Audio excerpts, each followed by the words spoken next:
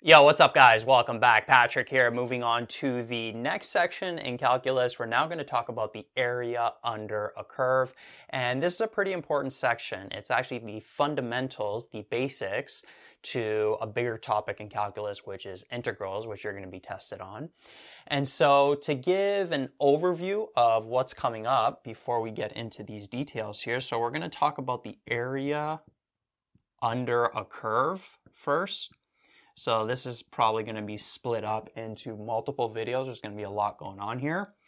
And then once we get through that, we'll talk about integrals, which is the next big topic in calculus.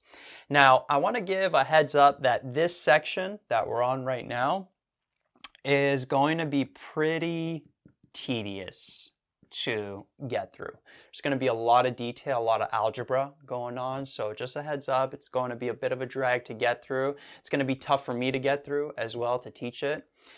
To be honest, I'm not too excited, not looking forward to, uh, to this section, to making the videos for this section, but we'll get through it anyway. But what's kind of nice is that once we get through this, once we get through those like tough details, then integrals are actually a lot smoother than this section. I'm not saying integrals are easier than this section, but the work for them is going to be smoother. If I was to compare this to maybe another more basic math topic is let's say we're finding the roots of a quadratic. Right here, this would be like using the quadratic formula. Right, just a lot of algebra a lot of details, a lot of sort of quote unquote manual labor, manual work. And then integrals, finding the roots of a quadratic, this is going to be more like factoring. And factoring can get complex. It could be really difficult. It could be easy to get stuck on questions with factoring. But I just feel like the work for factoring is a little bit more enjoyable than this sort of manual labor, quote unquote, work when you're using quadratic formulas. So that's how I kind of like to maybe compare these two topics. So just as a heads up, this next section, it's going to be uh, a lot to get through, a lot of details, but I'm going to try my best to explain it as best as possible.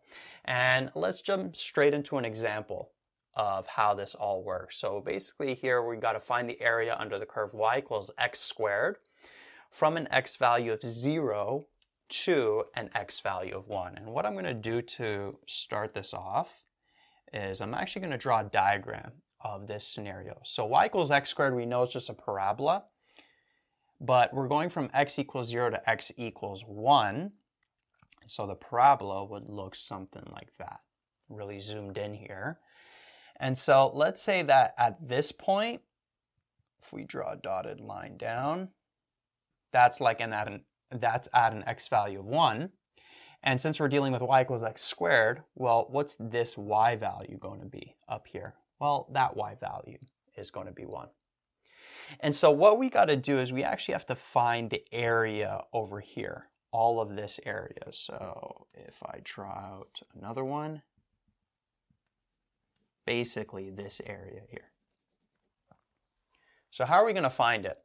Well, what we're going to do is we're first going to go through a couple of steps of where we can approximate it. And then at the end, we'll figure out a method for finding the exact area that we want. And the way to approximate it is you can actually split this interval from 0 to 1 into separate subintervals. And so you could pick any number. Uh, let's pick uh, four intervals to start with. So if we split this in half, we'll have 1 half over here, right? An x value of 1 half. This would be an x value of 1 over 4. And then this here would be an x value of 3 over 4. And so what we want to do now is we want to find out what's the area of these subintervals, and then we can add all of those areas. Question is, how do we get those areas? How can we approximate them? Well, one way is we can actually create rectangles here. And so what I'm going to do is that for each of these x values, I'm going to put a point that's on the curve y equals x squared. And then so at 3 over 4, it's here. And then at an x value of 1, we already have that point up there. And so what we can do here is we can draw some rectangles. So notice if I draw a rectangle like this, and then I could draw a rectangle like that, like that, and then like that. So if you notice, we got four different rectangles here. And so what we can do now is we can actually find the area of each of these four rectangles, and then we could sum up the areas. And that would give us an approximation for the area under the curve. It's not going to give us the exact area, but it's going to be an approximation. So what I'm going to do here is I'm actually going to create an expression for the sum of these rectangle areas. right? And this expression that I'm going to go over, it's actually pretty important. It's going to keep coming up over the next couple of videos. So what I'm going to do is I'm first going to find the area of this first rectangle over here, right? What's the area of this rectangle going to be?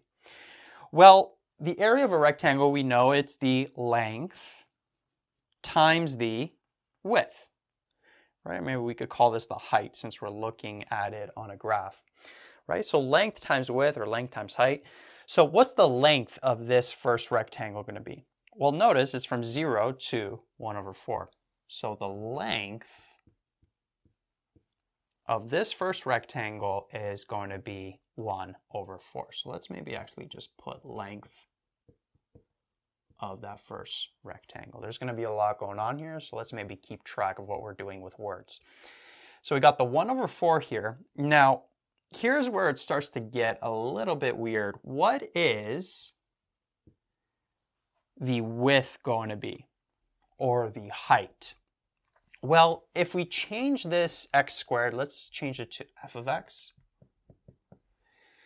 Notice that the height or the width is just going to be the y value of this coordinate, right? It's going to be the height of this coordinate, right? Because that is a vertice on that rectangle right here.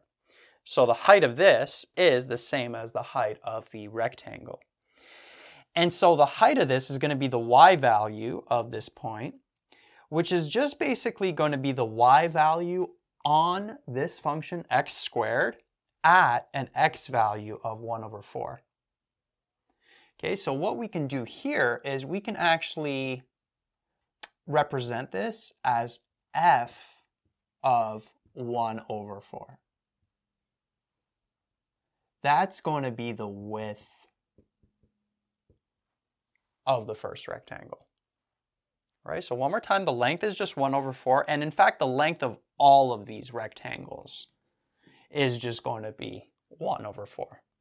But the width is going to change for all of them. The width of this one here is going to be the y value of this point, which is just basically f of 1 over 4. And the reason why I'm keeping it general here is because you're not always going to be working with x squared.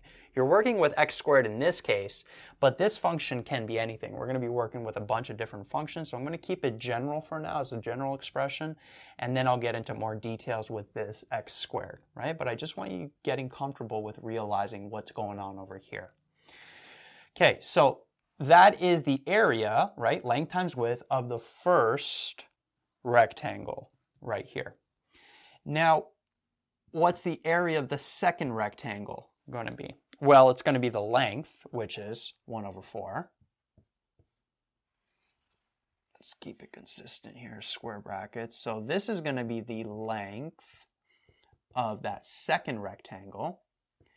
Now, what's the width of this second rectangle going to be? Well, notice the width is going to be all of this, or the height of it, which is basically going to be the y value of this coordinate over here, right? The y value of that coordinate is the same as the width of that second rectangle, which is going to be the y value on this function x squared at an x value of 1 over 2.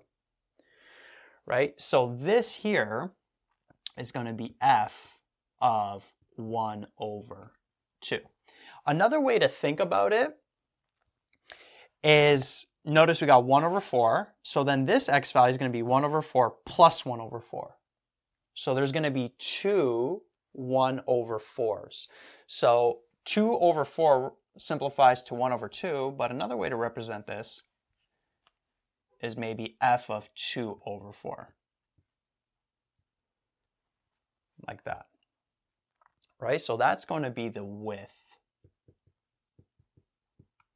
of that second rectangle. And the reason why I'm going to put a 2 over 4 instead is because let's say this was five subintervals. Then this would be 1 over 5, then this would be 2 over 5, 3 over 5, because 2 over 5 doesn't simplify further, right? So when we start generalizing this, basically what we're going to have is like 1 over a number, 2 over a number. So I'm going to keep it in that format, even though the 2 over 4 does simplify to 1 over 2. All right, so now moving on to the third rectangle, which is this over here. Now the length, the uh, length of it is still 1 over 4. So this is the length of that third rectangle. What is the width going to be of it? What's the height going to be? Well, it's going to be f of 3 over 4. Right? That's going to be the width of that third rectangle. So notice the pattern, right? We got 1 over 4, 2 over 4, 3 over 4, right? That's why I kept it as that 2 over 4, just so you could see the pattern clearly.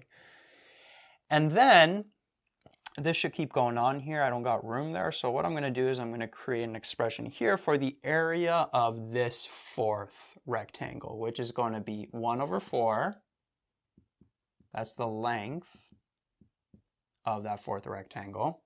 And then what's the width of it going to be? What's the height of it going to be?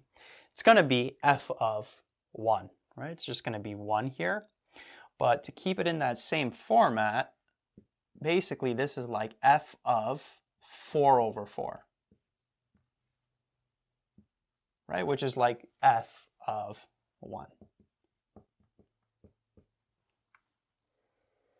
All right, so this here represents the expression for the sum of these four rectangles, right? So pretty general, a little tedious, as I said, but why this is important is because the expressions that we're going to be going over in this video, in this example, and the next couple of examples are going to be in this format.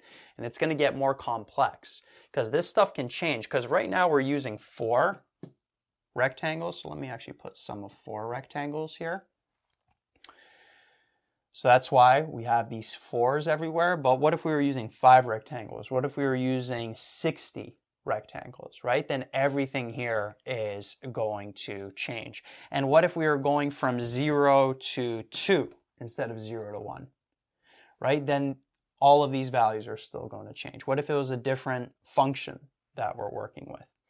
Right? So things are going to change, they're going to get more complex. And so just realizing, understanding how these general expressions come about is very important. So I'm keeping it really general for now. Right, so now let's get into the specifics of this actual function, this x squared. So what's going to happen is we still got this 1 over 4. Now what's f of 1 over 4 going to be? Well, we would just plug in 1 over 4, this x value, into the function x squared. So this would be 1 over 4 to the power of 2, plus, over here we're going to have 1 over 4. then we would plug in 2 over 4 into the function for x. We'd have 2 over 4 squared, plus 1 over 4, and then we'd plug in 3 over 4. That's going to be squared, plus 1 over 4, and then we'd plug in 4 over 4 or just 1 into the function, and then that's going to be squared.